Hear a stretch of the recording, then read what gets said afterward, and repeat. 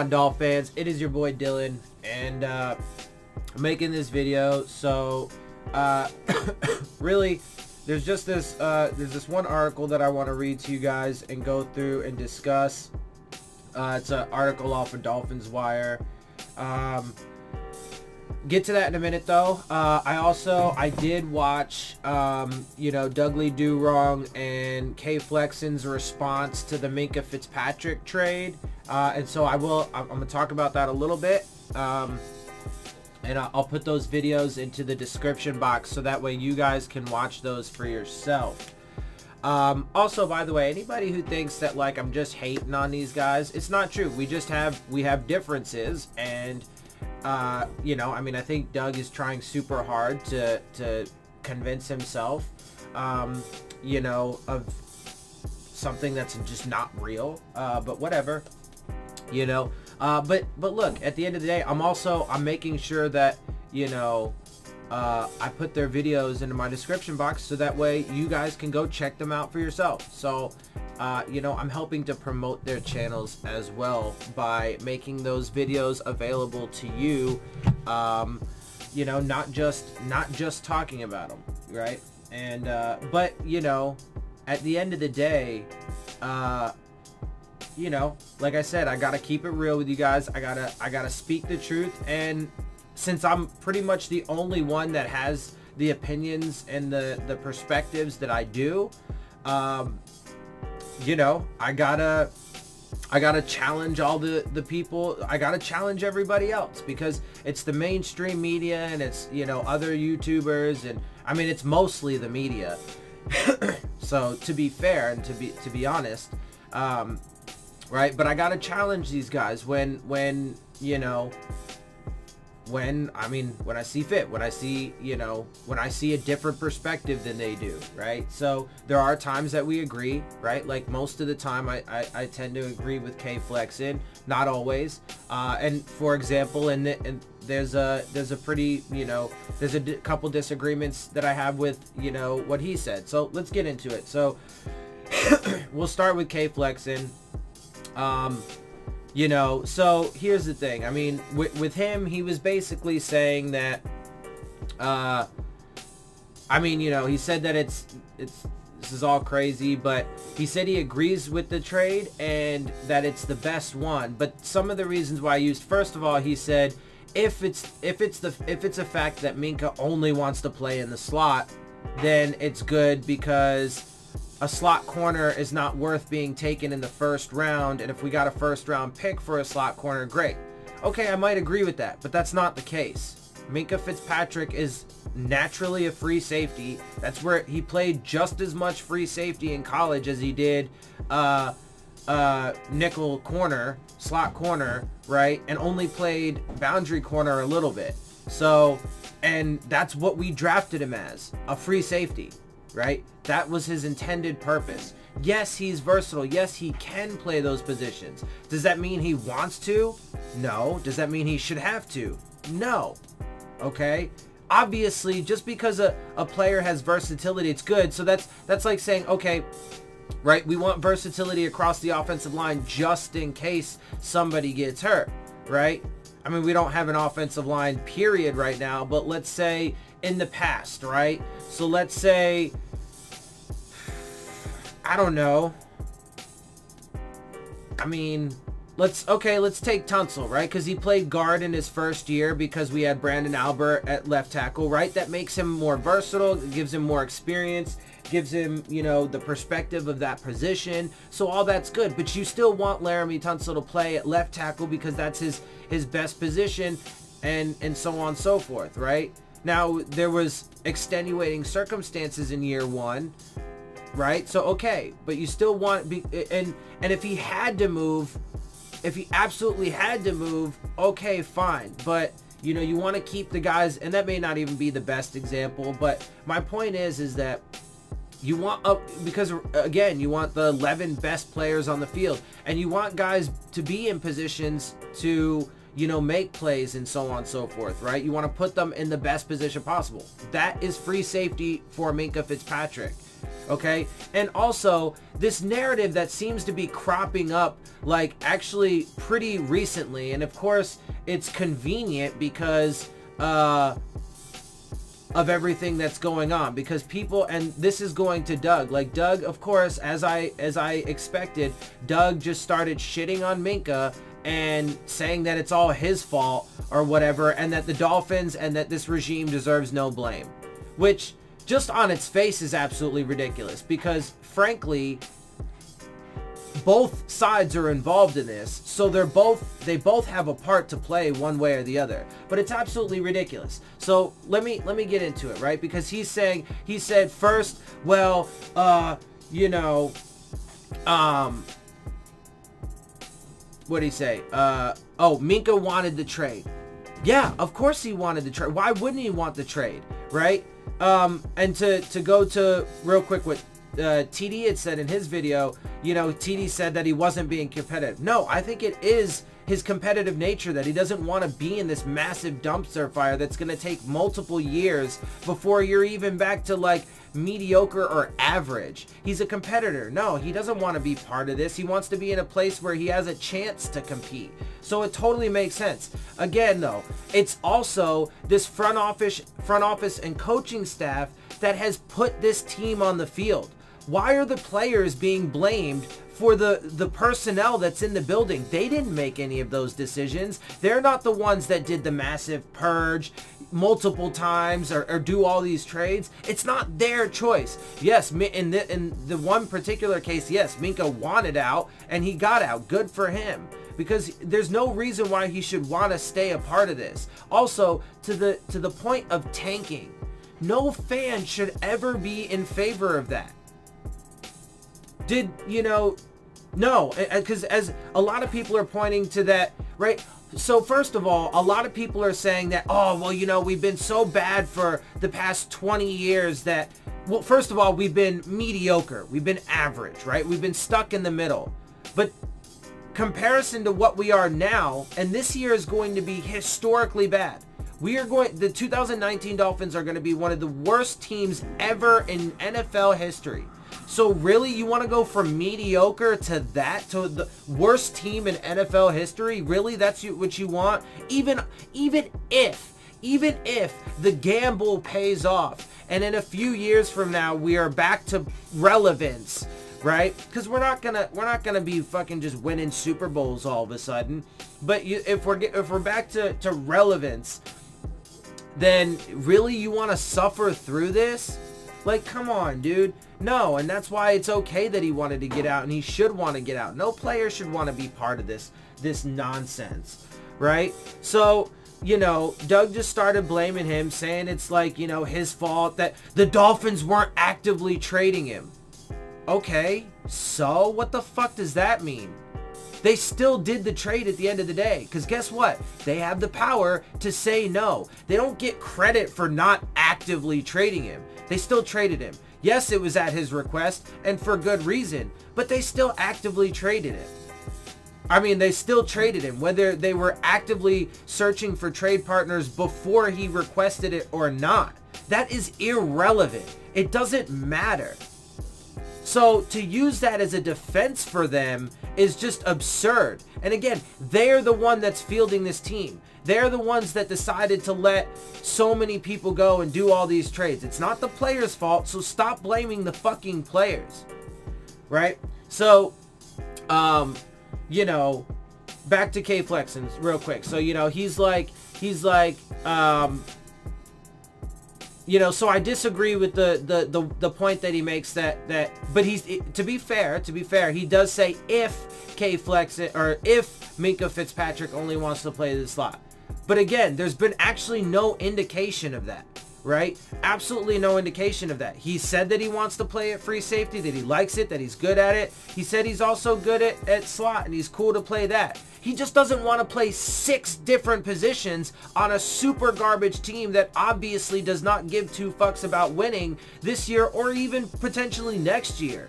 Why would he want to waste the prime years of his career in a super violent game where he could get hurt at any time just to waste those years in this mess? Why would he want that? Is the most illogical thing. And to be blamed for that. Uh, but I mean, it makes sense because fans don't, uh, most of the time, people don't, and the media, it's driven by the media. This is why I actually have a bit of an issue with, with like, you know, Doug's, you know, just vehement desire, desire to sell himself on falsehoods because then he spreads this message to thousands of people. Anyway, but people just don't want to fucking, you know, they just don't like looking at reality um, for what it really is, right? But look, the dude, he, he doesn't even have the body frame and, and the skill set and stuff to, to play linebacker and to play, uh, you know, strong safety.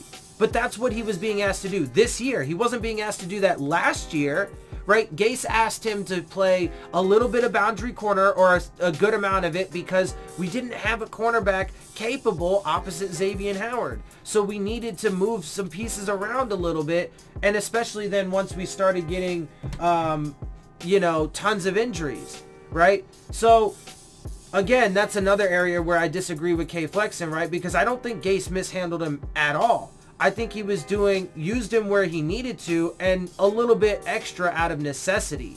But Brian Flores decided to just throw all kinds of other shit that doesn't need to be on this kid's plate. And of course he doesn't, shouldn't want to, deal with that. Of course, of course. Watch. And so K-Flexin also said that if they use him at free safety in Pittsburgh, he's going to be a little upset.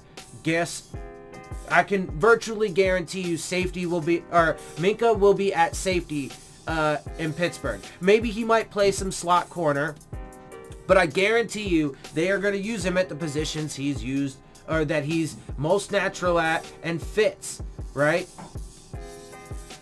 Uh, also, too, the thing that I was saying is cropping up, or that I didn't really finish saying earlier, the thing that's cropping up is everybody's like, uh, his versatility, his versatility. So because he's a versatile player and because he can play free safety and slot corner really well and does okay at boundary although had some serious struggles if we're being fair right? Because of those things because he has that versatility because he was branded with the label of uh, Swiss Army knife so that automatically makes it okay for a coaching staff to add a few more positions into that expanding his load, that means he's he's doing he's playing like half the defensive positions.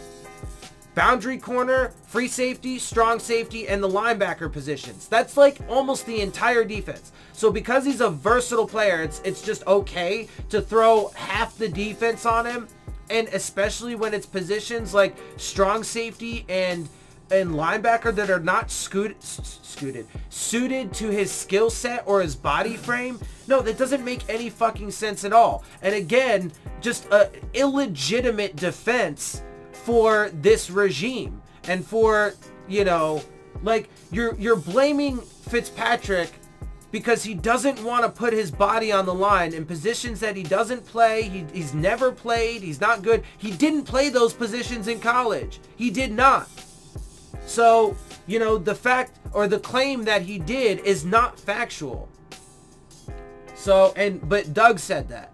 Those, you know, those were some of Doug's claims. So, like I said, I mean, I kind of expected Doug to just like shit on Minkah and just defend uh, this regime. And then, look, you know, the Steelers are struggling. Ben Roethlisberger's out. Is it the case that they could end up having a lower draft pick in the first round than than what expected? Sure, maybe, right? And do we have three first rounds now? Yeah, okay, great. But again, it's a massive gamble. You're just you're just you're just willy-nilly getting right now again, it to be fair, Minkah did request the trade. And again, rightfully so, because all of the damage has already been done, right?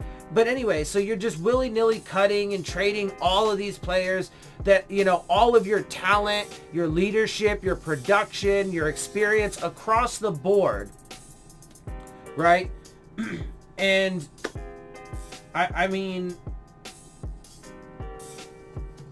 like, it's just, it's, it's absolute absurdity, right? Like, why? Why? Well, you, you're you're clearly not trying to win. You're you're clearly tanking, right? But why why would these players be bought in? Why would they want to be part of this system? It just it doesn't make any sense. And again, like it's a process that nobody should want. No fan should ever like okay this.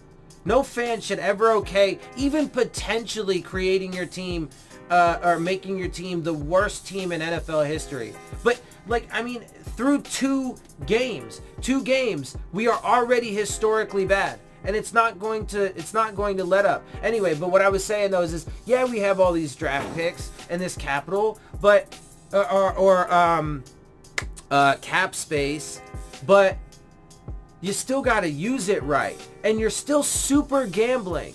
All these dudes Tunsil uh Tunsil uh Ja'Wuan James Tannehill uh Frank Gore Kiko Alonso uh Cameron Wake William Hayes you know, Robert Quinn and Andre Branch. I, I was okay with getting rid of those two, but even still, just look at these names. TJ McDonald, right? Now Minkah Fitzpatrick. I, I mean, Kenyan Drake could end up leaving at some point, which is not out of the, the realm of, uh, you know, possibility. It's very much in the realm of possibility right? Like, I mean, all of these names, all of this production, leadership, talent, just gone, gone, gone. And for what? So you can gamble? So maybe, hopefully, possibly you can hit right? Like, come on, dude. And, okay, so let me go ahead and, and, and continue on real quick. Uh, let me get to this, let me get to this article. So it's on Dolphins Wire. No, the Dolphins aren't ruining their culture with roster purge, which if you've watched my videos, you guys know that I actually vehemently disagree with that. The, the, the, the culture that they're instilling is super toxic. They're real quick. They're saying they're saying that um, if you come here, we're gonna work you to the bone in practice because they are. That's what that's what uh, Brian Flores is doing. He's and there have been multiple reports on it that that he's literally just like running them ragged in practice. So you're gonna have to deal with that. If you come here, there's gonna be no loyalty whatsoever from the coaching staff or from this front office, absolutely none, right? Um, if you step out of line at all, you're gone. If you just for whatever, I mean, a lot of these were just absolutely nonsensical reasons, right? Um, like TJ McDonald, they even said, oh no, he's a really good player and he is a good scheme fit. Oh, so why'd you get rid of him? I don't know.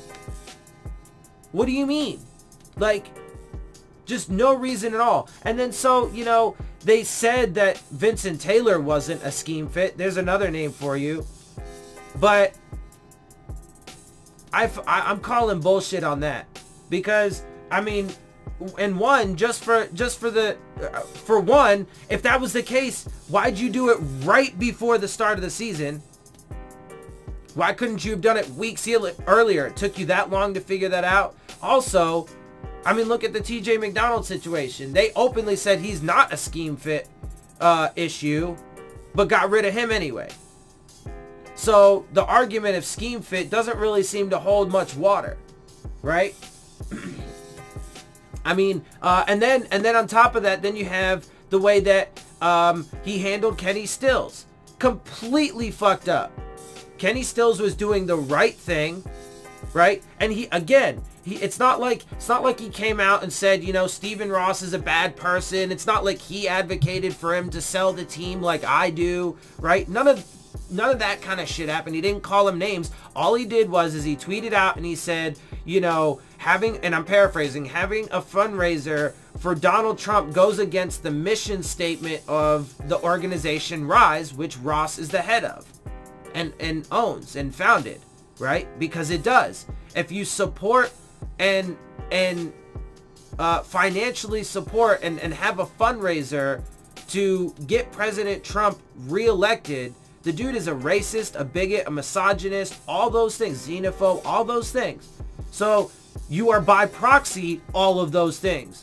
Because at the end of the day, Stephen Ross is a white male billionaire and he doesn't, and he even said it himself, even said it himself. I'm not a ra- I'm not a racist, but his racism isn't, isn't, uh, a deal breaker for me. Those are his words. Okay? So, sorry, no. You failed the purity test, bro, and you were at the very least by proxy all of those things. Right? So, he just made a simple statement, a simple factual statement that those two things are, uh, you know, absolutely contradictory to one another. They do not mesh. And then, then what? Right? So Brian Flores claimed that you know he played the eight straight Jay Z songs to so to so that way you know Kenny Stills wouldn't be a distraction. No, they amplified the distraction and then punished him. They became the distraction, right? He was just doing the right thing. They could have squashed it, you know. Flores could have squashed it by being like, yeah, you know, I support the players to, uh, uh, you know, uh, right to protest and just left it there and just left it there. But what happened? His first statement was, oh, he should have talked to Ross first. And again, who in their right fucking mind thinks that Kenny Stills would have gone to Ross and, and said, hey, you know, I want to I wanna publicly make a statement that uh, you supporting Donald Trump go conflicts with, you know, the mission statement of Rise. Do you really, does anybody really think Ross would have been like, yeah, man, cool, just go out and, and, and make me look bad in the public? Of course not. Of course not. and that's not what activism is about. You don't go and ask permission for the person or the, the entity that you're, uh, you know, speaking out against. That's retarded and ridiculous. That's really fascist shit to say right? In fact. So, no, right? So he shouldn't have talking or spoke to, uh, to Stephen Ross beforehand. That was the first misstep. Then his second statement was is that he needs to be more of a company man. No, then you completely lost me because you're just telling him, shut the fuck up, bow your head, do what we say, and, you know, that's it. And, and no, absolutely not. I say hell no to that. Then he decides he wants to play eight straight Jay-Z songs because he he decide because Kenny Stills criticized Jay-Z for the way he's handling everything, right? With the this this deal with the NFL just seems to be more of a fucking money grab. And and matter of fact, also it's it seems like a front to white or to to um to launder the image of the NFL because you know of all the problems that they're having. I'm not going to get into that because that's a whole nother conversation. But, right? So he criticized that. So Brian Flores decides to brazenly just play eight straight Jay-Z songs. How is that trying to minimize the distraction? No, that amplifies it. Are you stupid? Like, really? And then so, of course, you know, Kenny Stills then responds by playing some Nas songs at his locker. But, the, but of course, why would you expect there not to be a response? But then, of course, they make it even worse by trading him. Because now you're being punitive. Sure, he's got a job still and he's still making, you know, good money in Houston. But if they would have just outright cut him, then it would have been directly affecting him uh, financially. Now, of course, Kenny Stills would have landed somewhere. But that's not the point. This organization took punitive measures against him in large part because of his activism. So I'm sorry, they have no grounds to stand on with me. And yes, that's creating a massively toxic culture. Everything that they're doing is creating a toxic culture. Players that, you know, could possibly come here, like Clowney, for example, don't want to. Players that are here are getting the fuck out. It's not just Minkah. Do you think that do you think that Cameron Wake when he saw everything that was going on when he saw Adam Gase get fired because again Adam Gase when he got fired had a line of players and coaches outside of his door to wish him well and so on and so forth okay so Cameron Wake right Ja'Wuan James some of these guys had to have been thinking man this is and and it probably you know since watching everything that's happened since they've left, have probably been like, man, I'm dodging a fucking bullet, right? Like, all these guys, why would they want to be here part of in part of this? There's still apparently some other veterans on the team, right? Because uh, when the when the reports initially came out that there were players wanting trades, of course, first you know people like Doug were like, "Oh no, that's not true." Oh, lo and behold, it's true. But not only that, let's not forget there were at least two other players in the in that uh, conversation. And this is only going to get worse. Do you think do you think that all of a sudden it's all going to go away? No, he's going to continue losing players. This culture is as toxic as it could possibly be. Let's continue on and debunk the rest of this though. Uh, there sure is a lot of pushback against the Miami Dolphins decision making over the course of the last two or three weeks.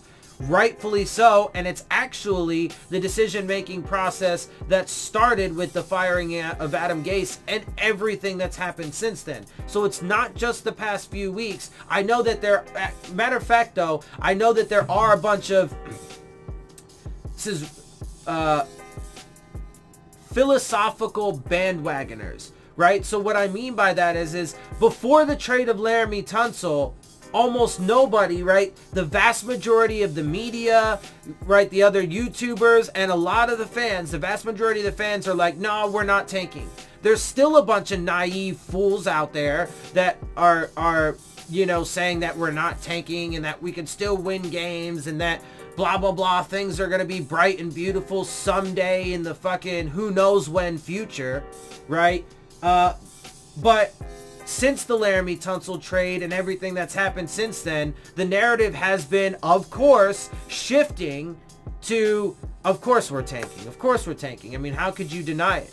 The vast majority of people now are admitting that.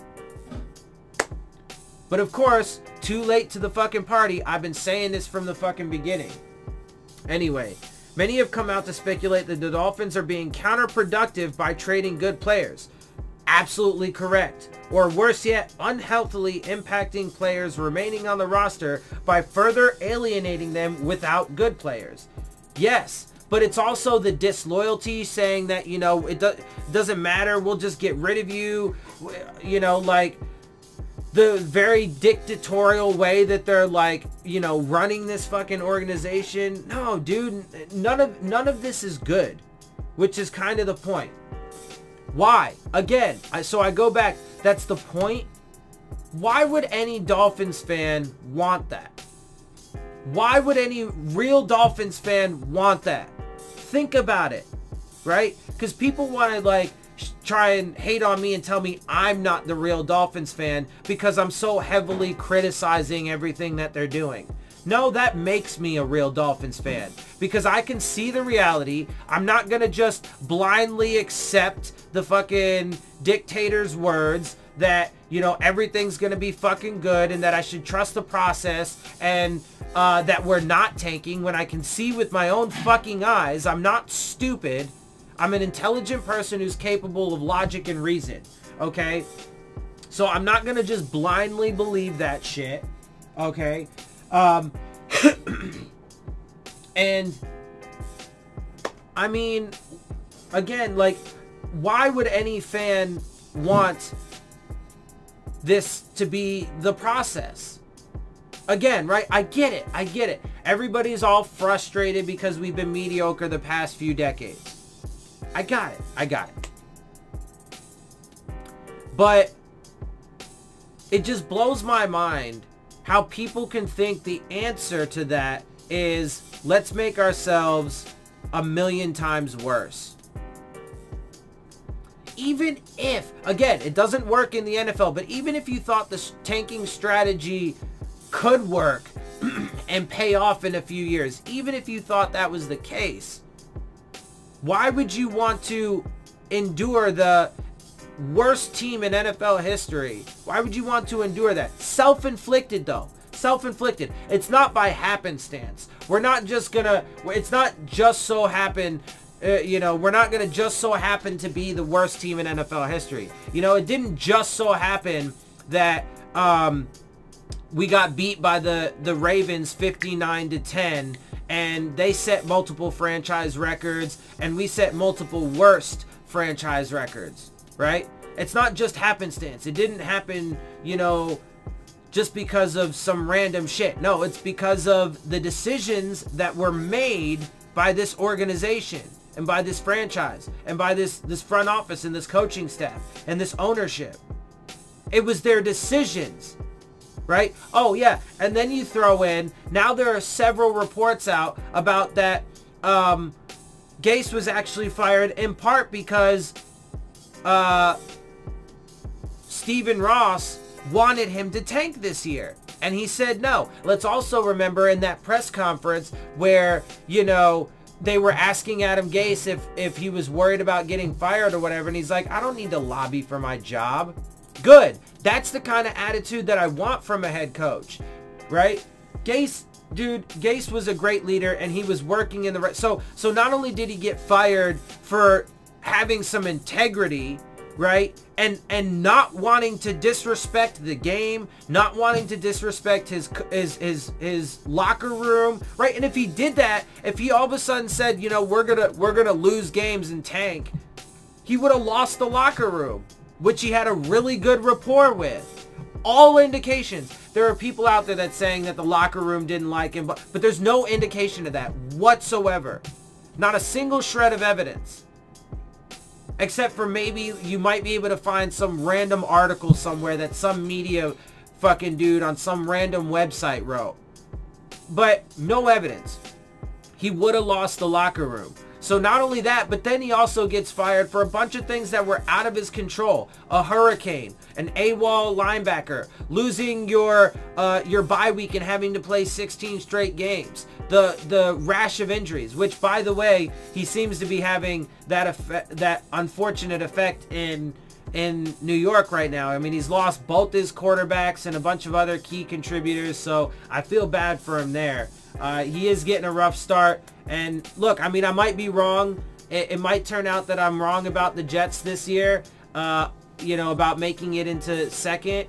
Uh, looks like, I mean, so it's only two games, but, you know, the Bills are, are looking pretty damn good, and the Jets are struggling, but it is in large part because of, of injuries. Also, it is his first year as the head coach there, so he does need to have time to instill his culture and get, a, you know, guys that he wants. There were reports and articles about how You know, he didn't really want Le'Veon Bell. He didn't want to to spend all that money and stuff, right? Some of these big name guys that they got, he didn't really want to do that. So he needs to have some time to build his culture. And again, I'm betting that even if it's not this year, he will get that franchise to a good position and have a lot of success as the head coach of the Jets if he's given the proper time.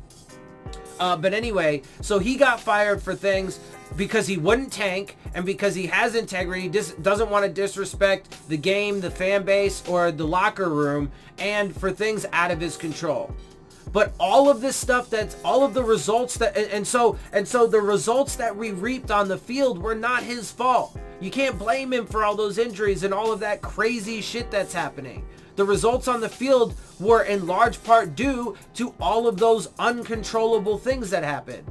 But the results on the field right now are directly related and correlate to the decisions made by this front office and this coaching staff. Okay? That's why it's absurd to blame the players. You, you, it doesn't matter how hard they try when they're on the field. We are outmatched, outgunned across the board. They can try as hard as they want. They will not win and they will lose in epic fashion as they have. It's not their fault. They need to stop being blamed for this. And it shouldn't be the fucking point, like this dude is saying. It shouldn't be, be, be, the point. We should not be aiming to be this fucking bad. None of this was necessary. The Miami Dolphins organization has spent much of the last decade floundering in mediocrity, brewing a complacent culture and mentality for many, but not all, players in the locker room. Okay, that was the case until Adam Gase. Absolutely. We've been stuck in mediocre, mediocrity. But then Gase had a surprise. Uh, he did a phenomenal job with a mediocre team in 2016. Went took us 10 and 6 into the playoffs. But then he had a couple down seasons because of all of the uncontrollable things. He did not have control over that stuff. So I, I don't know how much like it's just but but people still want to blame him for it. Like really? Like how would you feel if you were blamed for things out of your control? Right? My guess is those people that are still blaming him for all that shit would whine and cry and bitch and moan like little bitches if they were blamed for something that they, you know, didn't do, right? If they were accused of something they didn't do. They would be little snowflakes and start fucking whining and crying and play the victim role, you know, immediately and vehemently. Because they're fucking hypocrites. Because they're just giant fucking hypocrites. Anyway, so yes, we were mediocre, uh, but Gase was getting us going in the right direction. He was building a culture, right? Jerome Baker said it. You know, we'd like to ask him about this or that, but we're afraid because, you know, we don't want to lose our jobs. That's not the right kind of culture to have. You don't have a culture, right? And Brian Flores had even said it himself too, uh, paraphrasing here, but something along the lines of like, yeah, you know, when I was a position coach, I was more of like, you know, a player's coach, but now I'm kind of like isolated and alone as the head coach. You don't have to be. That's your choice. You could be friendly and cool with your players and not be a complete dick to them, not lie to their faces and say that we're not tanking when we are, you know, not telling Laremy Tunsil that uh, he's not going to get traded and then trade him. Not, you know, being a complete sellout dick prick to fucking Kenny Stills and, and backing the white male billionaire, right? Like, I mean, come on, dude. You are doing this. It is your fucking fault. And now, again, though, fine, we were stuck in mediocrity, but the answer to, to uh, the issue of mediocrity isn't to be historically bad. That's absolutely ridiculous. Especially in the NFL where tanking doesn't work. There's no legitimate fucking uh, example where tanking really worked, you know, to the point of creating this, you know, super relevant competitive dynasty or whatever, right? It might work for like, you might get a, you know, a little bit of a rebound and some some you know some false hope but there's really nothing to indicate that the, especially to this level. First of all we've never even as far as I can tell I've only been around for 30 years and and I've only been a, a football fan for like 20 right? And and whatever but you know I mean from all, all the information I've seen articles reports all kinds of you know research on the internet all kinds of right lots of information from lots of different places there's never been a, a tank job to this level I mean it's just craziness and from the end of 2018 to the start and and then but it's funny though because even in this article he lays out reasons why this won't be successful. So let me continue. From the end of 2018 to the start of 2000, Miami has purged more than 60% of their roster filling in many of the blanks with underachievers or less than qualified starters as at the professional football level. As I've been saying for a while, across the board, just clear and clear downgrades. But but he's proving his point wrong with this with these comments. Like, are you serious? If you purge 60% of the roster and then and then fill those holes with just utter clear downgrades, what do you mean? How, how do you not realize that that is amplifying and, and proving the point correct that the culture is being set wrong? Because the, what do you think, what kind of messages do you think that sends to the players? Like, are you kidding me? Which again is the point. Why, and, and I say again, why is that the point? Why, why, like, he's trying to argue that they are not ruining the culture, ruining the culture, but the evidence that he cites proves the opposite and then he's saying that this is the point. So he's he's trying to argue that the culture is not being ruined but his arguments and his evidence are counterfactual to what he's trying to prove right so in other words the evidence that he's citing actually proves that the culture is being bred toxic. And but then he's saying that that's the point. Because when the Dolphins kick off their 2020 season, what percentage of players are going to be here that were on the roster in 2019? It's pretty safe to say the number will again be less than half. Okay, But then again, that proves my point that this is a multi-year tank job. Because if we have less than half of these players, which I think is a logical uh, projection, if we have less than half the players that we have on the team right now next year, if you do that again,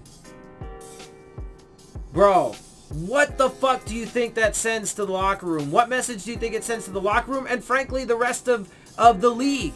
Again, you're just gonna you're just gonna uh, expound upon the the fact that no player wants to be here or come here. You're not gonna be able to build shit. Even players from the draft aren't gonna want to come here. They can say no. They can say no. I don't want to go play for this piece of shit fucking team. I mean, the Dolphins have been very clear that they want a very particular me mental makeup for their cornerstones. First of all, they haven't really been clear on anything. Even in a lot of their answers, they're super vague or just don't give any. Okay? So they're not clear on shit. But here's what they want. They want passionate, loves the game of football, selfless, and hard worker. I'll get to it in a second, but later he says Minkah didn't make the cut. Okay. Minkah didn't make the cut. Doug says they weren't actively shopping him. So apparently he did make the cut because the team didn't want to get rid of him, right? According to Doug and to, according to other players, right? So uh, according to the team, he is passionate, loves the game, selfless, and a hard worker. But then you have guys like TD who are like, oh, him wanting to be traded shows that he's not competitive. No, I disagree. I think that's exactly the opposite.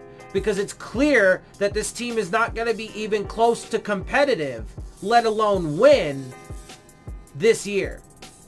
So you're telling me that for a player to prove their passion, love for the game, and their competitive competitiveness and stuff like that, they have to just endure being absolutely trash? No. Hell no. I think it shows his desire to be competitive far more that he wants to go to a team where he has a much better chance. And passionate, loves the game of football, selfless, right? Loves the game of football. Another reason why you'd want to leave. Because it is disrespectful to the game, to the players, to the fan base to adopt the process of tanking. And then it's even more disrespectful to then lie to everybody brazenly about it. It shows his passion that, you know, after that massive debacle, he went to his agent, It was like, dude, I love this game. You know, I bust my ass for it. I'm a hard worker, right? And that's the thing, right? He came from Alabama. He came from Nick, Saban's program.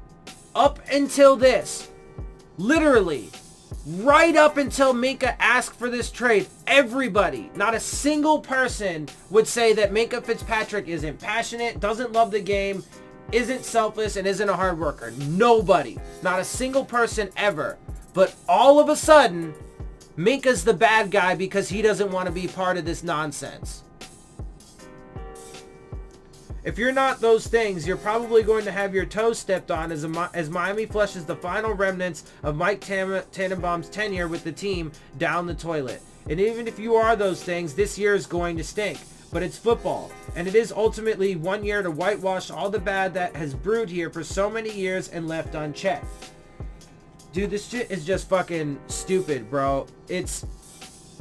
So yes, the next 14 games will probably stink just as much as the first two did. But that's why Miami wants particular players committed to their craft.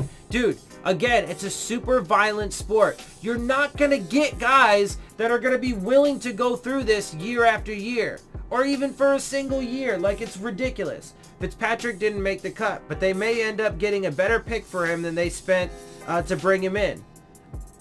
Again, though, key emphasis emphasis on May. They're super gambling, super gambling, and it's not going to pay off.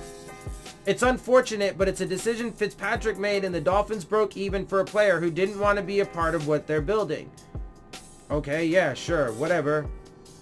That's fine because probably 80% of the players who are here won't be part of what the Dolphins are building beyond the next two years. So if that's the case, again, that doesn't set a good message, that doesn't build a good culture, that doesn't allow you to win next year. It's a multi-year tank then if that's the case. And if that was if that was the case, then why would he want to be here? So the ramifications of a bad year on the gridiron really are inconsequential at best. Wrong. That is categorically false. They are massively consequential at least. At least. If you didn't get fucking demolished 59 to 10 in the Ravens game, Minkah Fitzpatrick wouldn't have, and if you weren't playing him at totally unnecessary positions that don't suit his skill set or his body type, he wouldn't have asked for the trade.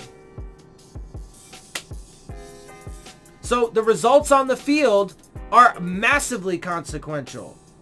Like it's just it's it's it's insanity.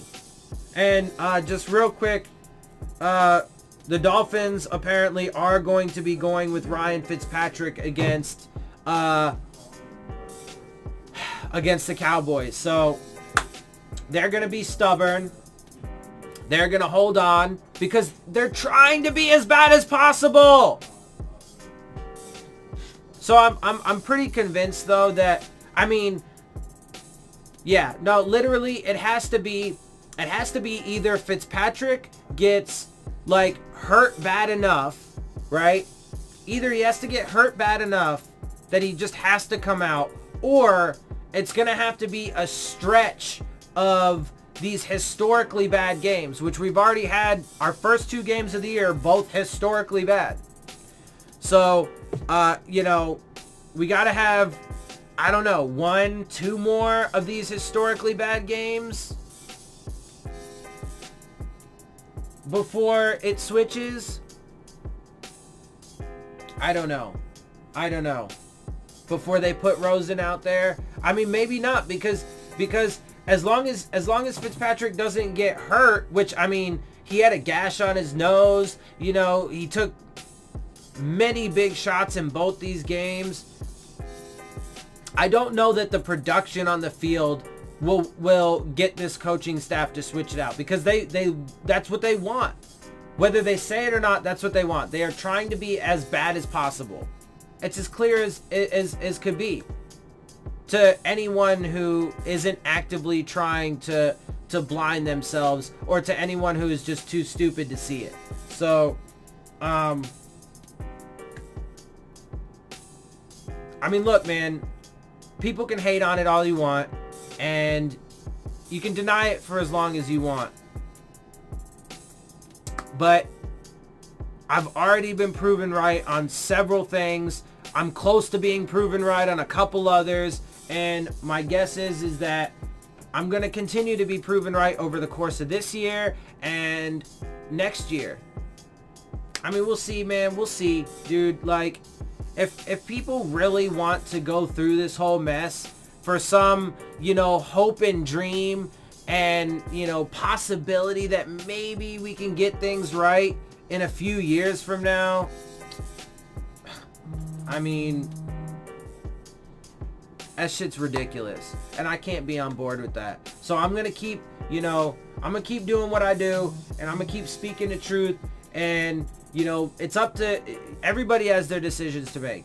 Either, either you can just, you know, lay down and accept this. Or you can get on board with not accepting it and accepting the reality of the situation and you know join me to help to to try and get this thing fixed man because you know i'm I'm gonna I'm gonna do everything I can. I mean, I have you know, I have limited limited control, limited power, but you know, I'm not gonna just talk about these things. I'm not gonna just speak the truth and give you guys the facts, but I'm gonna try and do everything that I can. And as this channel grows and everything, more will be able to be done but you know I'll do everything that I can I, I, everything I can at every stage to try and actually get some some change. And for me the biggest thing is getting Stephen Ross out. And so that's why I started the petition to force Stephen Ross to sell the team.